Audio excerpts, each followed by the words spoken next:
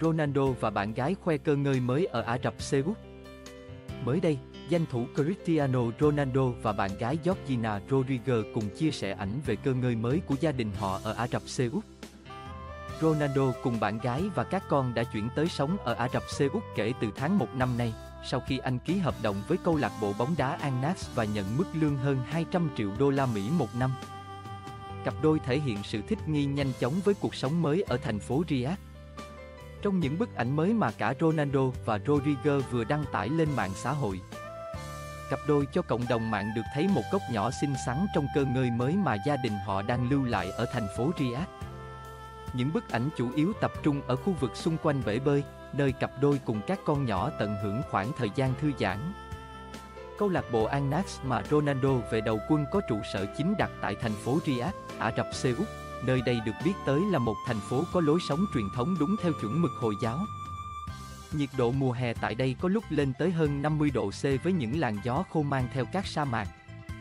Riyadh là một thành phố hiện đại với những tòa nhà chọc trời và trung tâm mua sắm sầm uất. Nhiều khả năng gia đình Ronaldo đang sống ở một trong hai khu dân cư cao cấp của thành phố, là Al Muhamdia hoặc Al Nakhel. Hai khu dân cư này đều có những nhà hàng sang trọng, những trường học quốc tế. Cả hai khu dân cư đều nằm gần sân vận động Roson Park có sức chứa 25 000 khán giả.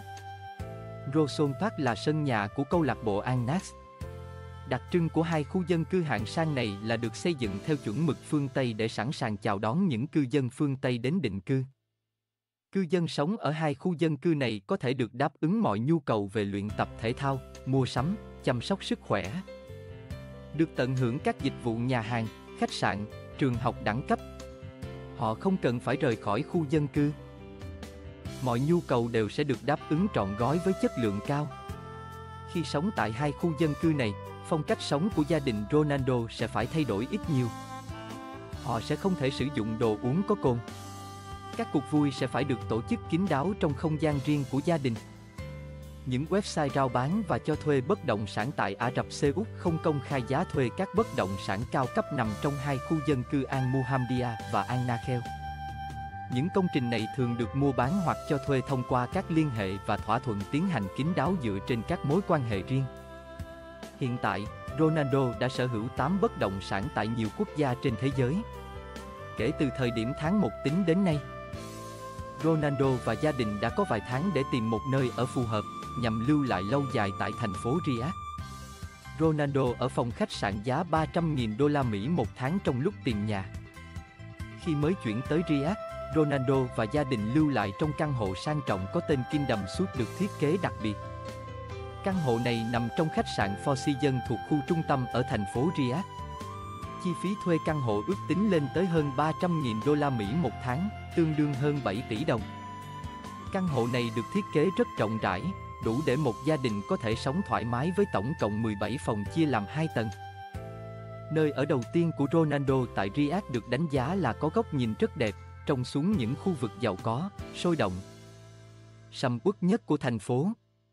Khách sạn Four Seasons nằm trong tòa tháp Kingdom Tower, đây là một trong những tòa tháp cao nhất tại Ả Rập Xê Út.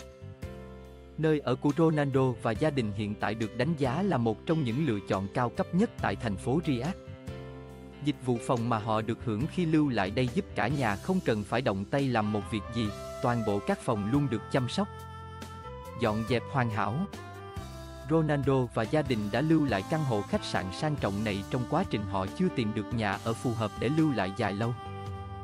Mức giá của căn hộ Kingdom Suite không được đưa ra công khai trên website của khách sạn, nếu muốn đặt phòng phải liên hệ riêng. Căn hộ Kingdom Suite có những phòng như phòng khách, phòng làm việc, phòng ăn, phòng giải trí. Gia đình Ronaldo có thể yêu cầu đầu bếp thực hiện các món ăn theo ý muốn với những nguyên liệu chất lượng hảo hạng luôn sẵn sàng phục vụ. Các nhân viên trong khách sạn được yêu cầu không chủ động đề nghị chụp hình với Ronaldo, dù vậy, danh thủ đã có những giao lưu. Tiếp xúc thân thiện với những vị khách cũng đang lưu lại tại khách sạn. Anh cũng thể hiện sự vui vẻ, dễ chịu của mình bằng cách chào hỏi và cảm ơn những nhân viên khách sạn phục vụ mình và gia đình.